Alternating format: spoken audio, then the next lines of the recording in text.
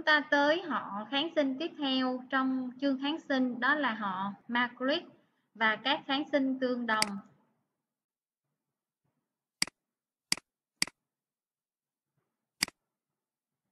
Họ Margaret và à, và các kháng sinh tương đồng có nghĩa là cái gì?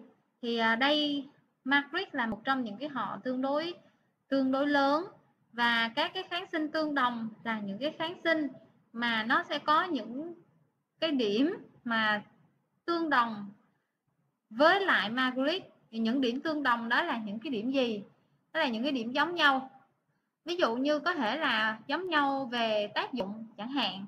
Đó hay là à, giống nhau về cơ chế thì à, chúng ta sẽ tìm hiểu xem là uh, Margaret là gì và các cái kháng sinh tương đồng là cái gì. Thì um, uh, trong cái phần giới thiệu chung này thì mình sẽ đi về cái định nghĩa à, để mà à, coi thử là à, à, những cái chất tương đồng là những cái chất như thế nào. Thì những cái kháng sinh mà tương đồng là những cái kháng sinh có phổ kháng khuẩn và cơ chế tác à, và cơ chế tác động giống nhau. À, thì những kháng sinh tương đồng với Margaret là những kháng sinh mà có cơ chế là tác động trên vi khuẩn bằng cách ức chế sự tổng hợp protein của vi khuẩn. À, theo cái cơ chế là à, tác động trên tiểu đơn vị 50S của ribosome. Và cái thứ thứ hai đó là giống nhau về phổ kháng khuẩn. Thì Mavic và các kháng sinh tương đồng đều à, tác dụng chủ yếu à, trên vi khuẩn gram dương. Thì um, à, những cái à, kháng sinh à, tương đồng thì gồm có là các Margaret điển hình à, các Gisting và à, Lincosamic thì à, trong à, bài hôm nay các bạn học á, thì à, à, sẽ đề cập à, chủ yếu đến à, Margaret điển hình. À, còn hai cái kháng sinh tương đồng với Margaret là C negative và glycosamic. Thì cái phần này các bạn sẽ uh, tự đọc và tìm hiểu. Uh, đây là một cái slide để giải thích cho các bạn về các cái uh, kháng sinh uh, có thể có ở uh, nhóm matrix và các kháng sinh tương, tương đồng. À, thì các bạn thấy là đối với nhóm matrix đó, thì có thể có là erythromycin A spiramycin, rosamycin, nhóm lincosamid á, thì các bạn có là lin clindamycin. À. thì à, đây là giới thiệu cho các bạn chung về các cái matrix và kháng sinh tương đồng. À, đây là một số những cái hợp chất à, mà ở họ matrix và ở các kháng sinh tương đồng nhất là họ, họ matrix họ matrix ở đây thì người ta chia làm nhóm matrix có 14 đến 15 nguyên tử. Và nhóm matrix có 16 nguyên tử. Thì 14 và 15 nguyên tử thì nó khác nhau ở cái điểm nào?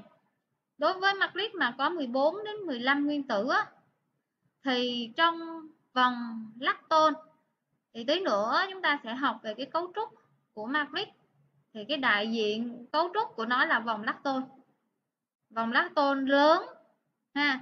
Cái số lượng nguyên tử trong vòng lactone đó khác nhau á, thì là các matrix khác nhau.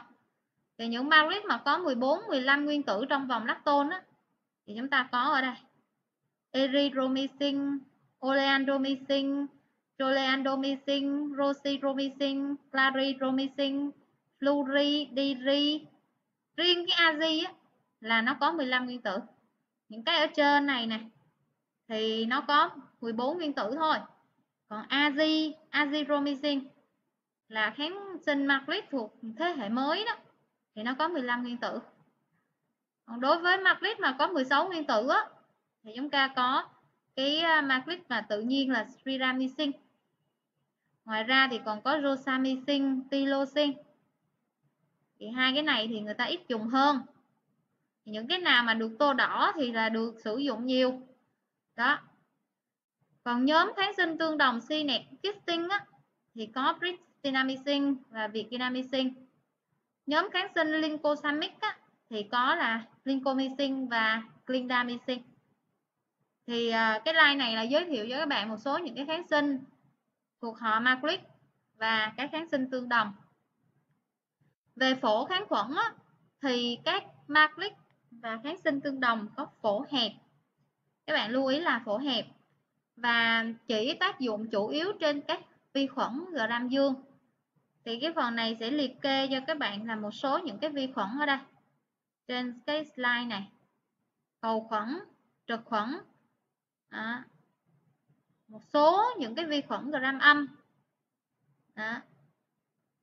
và một số các cái vi khuẩn yếm khí thì đây là phổ kháng khuẩn chung của matrix và các kháng sinh tương đồng.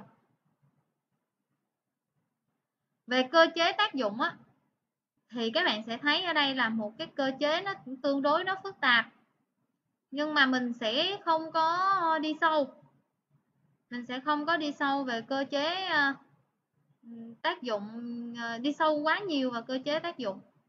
Các bạn chỉ cần nắm ở đây, đó là matrix và các kháng sinh tương đồng.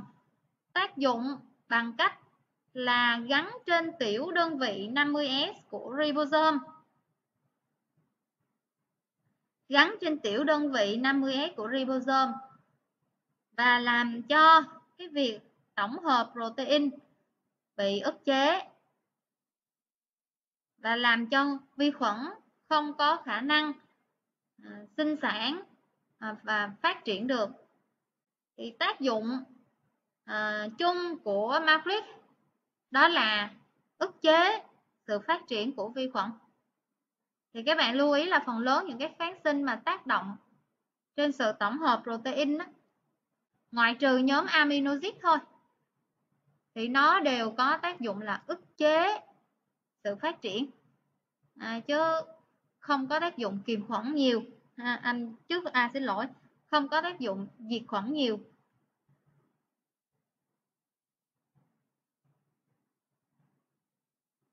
Các bạn xem cái ờ, cơ chế tác dụng của Maclick nha.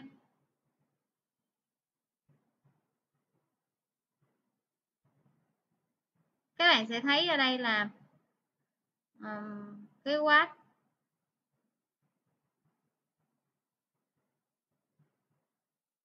Cái matrix nó can thiệp và làm cho các axit amin nó không có gắn kết được. Và chính vì cái điều này mà nó làm cho cái chuỗi protein không được tổng hợp. Rồi, về phổ kháng khuẩn thì ờ, nhắc lại là do cái cơ chế, cho nên là phần lớn các cái matrix là có tác dụng kiềm khuẩn. Đó. dĩ nhiên thì ở liều điều trị á, thì là kiềm khuẩn. À, một số macrit á, thì nó có tác dụng diệt khuẩn ở nồng độ cao. Và một số những cái điểm chú ý là macrit thì nó không tác động trên ribosome của người nên là nó không có gây độc gây độc trên tế bào người. Thì đây là một cái điều lợi bởi vì nó chỉ tác động trên vi khuẩn thôi. À, cái cái phần like này thì nhắc lại về cái cấu trúc của vi khuẩn à, nhắc lại thôi ha để các bạn biết được là cái vị trí tác dụng của matrix Rồi, bây giờ chúng ta tới cái sự đề kháng của vi khuẩn trên matrix và các kháng sinh tương đồng. Thì giống như trong cái phần đại cương ừ, cô đã đề cập với các bạn thì sự đề kháng sẽ chia làm hai loại là đề kháng tự nhiên và À, đề kháng thu nhận hay còn gọi là đề kháng mắc phải. Thì đối với đề kháng tự nhiên là cái đề kháng mà tự bản thân vi khuẩn à, từ lúc sinh ra là đã có cái khả năng đề kháng với kháng sinh rồi thì những cái vi khuẩn gram âm á, sẽ đề kháng tự nhiên với lại kháng sinh họ matrix và các kháng sinh tương đồng vậy thì các bạn lưu ý là matrix không tác động được trên trực khuẩn gram âm.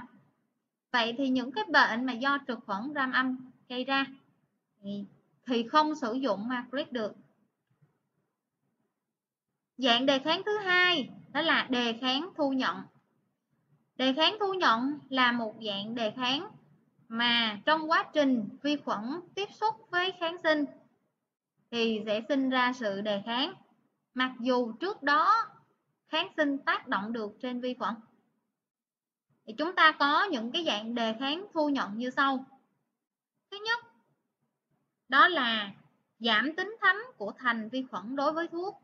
Giảm tính thấm của thành vi khuẩn đối với thuốc có nghĩa là vi khuẩn không cho thuốc xâm nhập vào trong cơ thể nó. Cái thứ hai, đó là thay đổi vị trí gắn kết đối với thuốc. Vị trí gắn kết của nhóm matrix đó là tiểu đơn vị 50S của ribosome vậy thì ở đây, vi khuẩn đề kháng bằng cách làm cho kháng sinh không thể gắn được trên tiểu đơn vị 50S của ribosome thứ ba, đó là vi khuẩn tiết ra enzyme phân hủy cấu trúc của thuốc. Đặc biệt, đó là enzyme estera, làm cho vòng lactone bị mở và thuốc mất tác dụng. Thứ tư đây là cái điều nguy hiểm bởi vì có sự đề kháng chiếu xảy ra giữa các kháng sinh trong cùng nhóm nhất là các matrix cổ điển. Đó là bốn cái đề kháng thu nhận do vi khuẩn tiếp xúc với thuốc à, tạo ra. Ngoài ra thì cũng có một đề kháng tương đối đặc biệt đó là sự đề kháng bằng cách hình thành những cái bơm.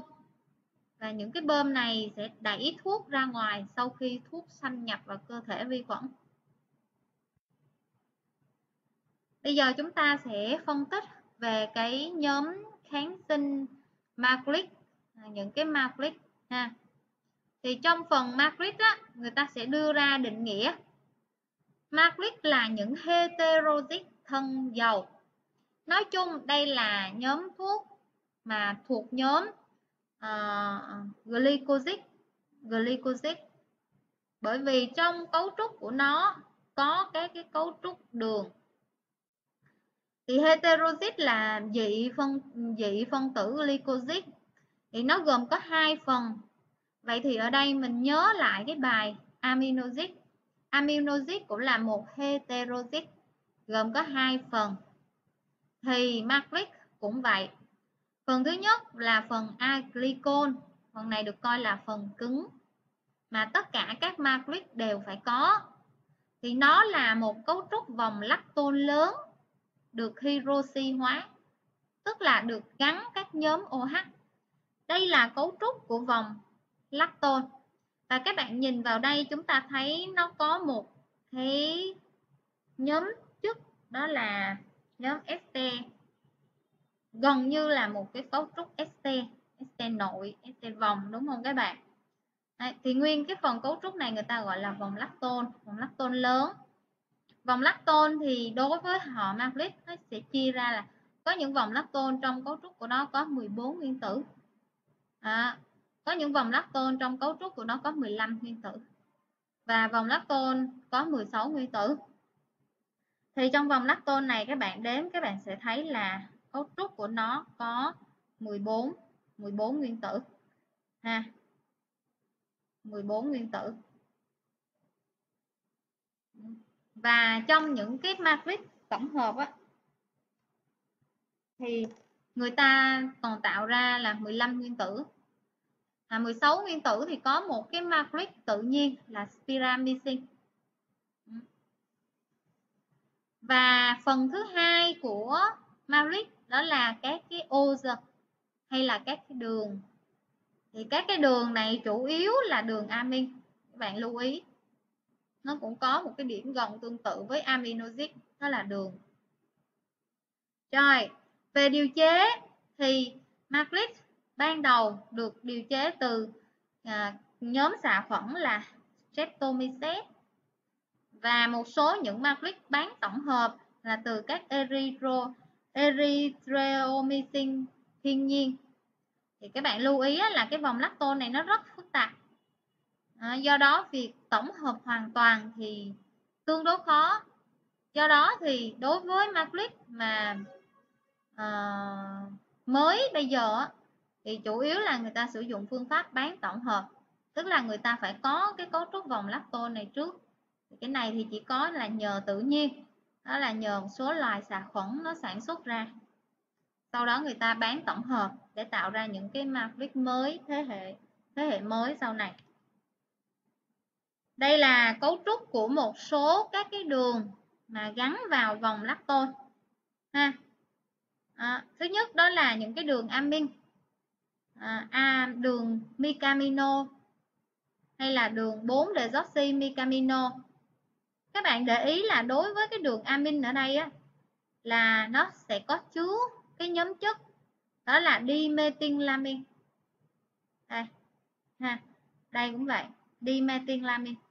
Đây là một trong những cái nhóm chất được coi là là có tác dụng sinh học. Ha. rồi, và những đường không phải là đường amin, đó là các desoxyo à, L Claudio L Oleandro L micamiro. Tức là trong cấu trúc của nó không có chứa nhóm amin. Về chính tính chất lý hóa của matrix thì cái matrix là dạng giờ ít tan trong nước.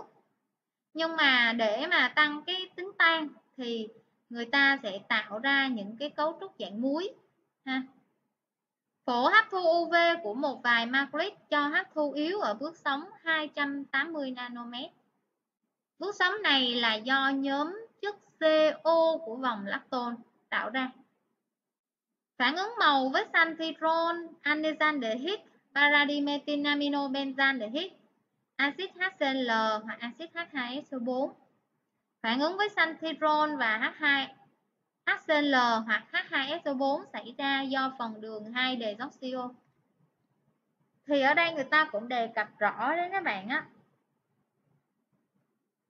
là phần đường thì sẽ phản ứng với lại santhirol ờ, với H, H với axit HCl hoặc là H2SO4 ha. và những cái phần cấu trúc trong vòng lacton thì sẽ phản ứng với anisandehyde hoặc là paradimethyl aminobenzaldehyde BDAB ha. và giới thiệu cho các bạn đây là một số những cái matrix thiên nhiên. Đó, rất là nhiều ở đây. Đối với matrix cũng có loại matrix 12 vòng mà trong vòng lactone có 12 nguyên tử như metimycin nhưng mà chắc cũng không có dùng. 14 nguyên tử thì uh, có cái loại mà được sử dụng làm uh, thuốc hiện nay erythromycin ha. 16 nguyên tử thì có là spiramycin và một số những cái matrix khác nữa. Và các cái matrix bán tổng hợp thì à, có những cái dạng matrix là rosiromycin clariromycin aziromycin dirifluori ha là phần lớn là được bán tổng hợp từ erythromycin. Đây là một cấu trúc hoàn chỉnh à, được phóng lớn để cho các bạn thấy một cái matrix. Thì à, cái phần cái matrix á, thì nó gồm có hai phần. Cô nhắc lại ở đây. Ha phần thứ nhất đó là vòng lacton lớn. Đúng không các bạn? Rồi, đó. thì vòng lacton này có thể được hydroxy hóa, ví dụ như là nó gắn các cái nhóm OH ở đây. Đó. OH ở đây. Đúng không? Đó là vòng lacton lớn. Vòng lacton này là có 14 nguyên tử đối với cái matrix này và hai cái phần, hai cái đường đấy